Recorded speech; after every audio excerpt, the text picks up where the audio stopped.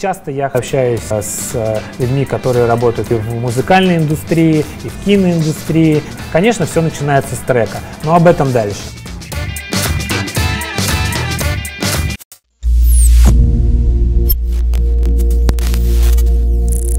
музыкальный клип, и это важнейший инструмент для продвижения музыканта. Этап – выбор трека. Сейчас будет достаточно объективное мнение. Я поговорил очень с многими ребятами из музыкальной индустрии, и со звездами, и с топовыми музыкантами, и с продюсерами. Это был некий такой а, социологический опрос о том, как же музыканту правильно выбрать сейчас трек, на который стоит снимать клип. В первую очередь, конечно же, решает слушатель. А, раньше музыкант там, мог нагнать какой-то мистики.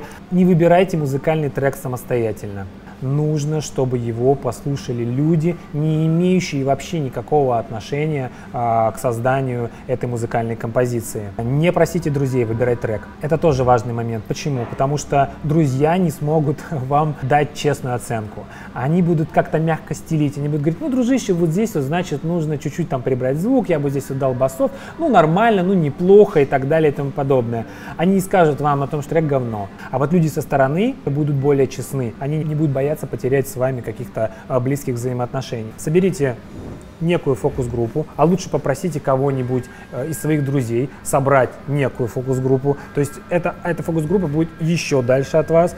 И, и отправьте им на выбор там 2-3 трека. В большинстве случаев многие музыканты думали, что хитом будет совершенно другая песня, и не та, которая в итоге стала хитом. Ты как музыкант исполнил класс, точно будет хитовая, а она нифига не хитовая. Если у вас уже есть режиссер, если вы уже его подобрали, берете ты несколько треков, 1, 2, 3, отправляете режиссеру, и, и режиссер выбирает. Классно работает, потому что режиссер а, в съемке клипа, он играет большую роль. Если режиссеру не нравится ваш трек, и он будет снимать э, клип только ради того, чтобы заработать денег, это провал. И я последнее время достаточно часто работаю, когда музыканты присылают несколько вариантов трека, я выбираю, смотрю. Конечно же, мы снимаем и коммерческие э, работы, когда не приходится выбирать трек. Еще вариант, вы делаете картиночку, э, ставите туда музыку э, свою и запускаете там на YouTube, еще на каких-то каналах и тестите смотрите, как это работает. А, если, соответственно, есть какой-то отклик, возможно, что стоит сейчас взять, э, не знаю, там, деньги а, с банка и пойти снять клип на эту песню. Если же нет никакого отклика, то стоит задуматься. Можете отнести трек на радио, а, потестить его на различных площадках, заключить контракт с рекорд-лейблом, и уже после того, как вы увидите, насколько людям заходит музыка, снимать клип. Например, Таяну, композиция «Шкода». Значит, она пять месяцев э, висела на различных радиостанциях, э, в сети, на Ютубе. И только после того, как стало понятно, э, Алан Бадоев снял на, на эту песню клип. Можно взять, например, Олега Газманова.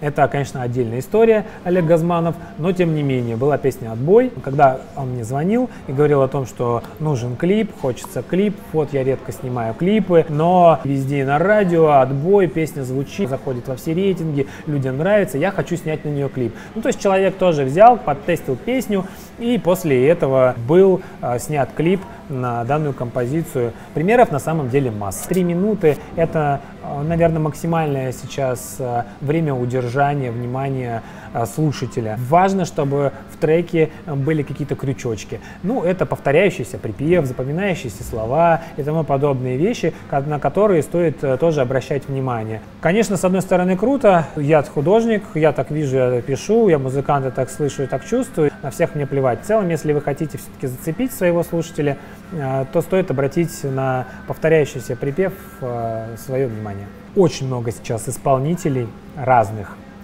которые не пойми вообще, что поют.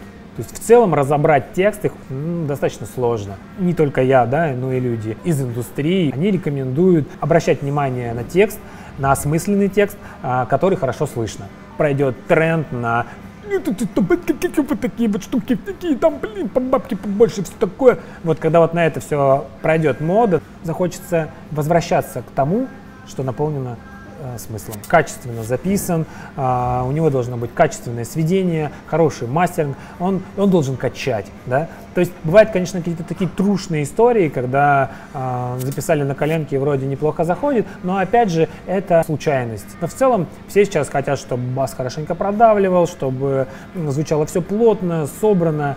Поэтому рекомендую вам обязательно обращать внимание на качество записи.